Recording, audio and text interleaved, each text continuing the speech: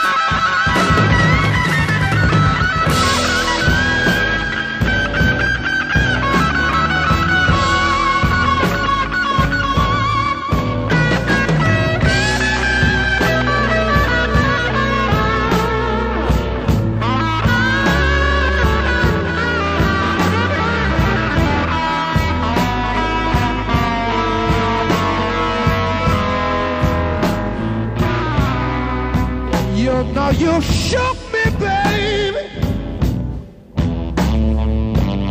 You shook me.